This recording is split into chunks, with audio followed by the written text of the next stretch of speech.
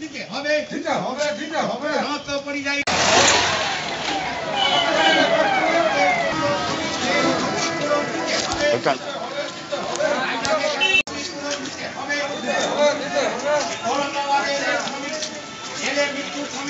এক কোটি টাকা ক্ষতিপূরণ দিতে হবে দিতে হবে দিতে হবে পরিযায়ী শ্রমিকদের ঘরে ফেরার ব্যবস্থা সরকারকে করতে হবে। করতে হবে করতে হবে। লকডাউন চলাকালীন সমস্ত পরিযায়ী শ্রমিকদের মাসে দশ হাজার টাকা ক্ষতিপূরণ দিতে হবে।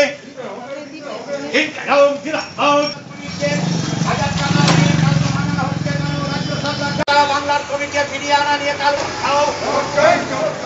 অন্য রাজ্যে আজকে তারা সমস্ত শ্রমিকদের বাংলায় সরকারকে আনতে হবে জিলাপাল সমস্ত পরিযায়ী শ্রমিকদের লকডাউন ভাতা দশ হাজার টাকা দিতে হবে। সমস্ত বাড়ি চিকিৎসা বিনামূল্যে দিতে হবে।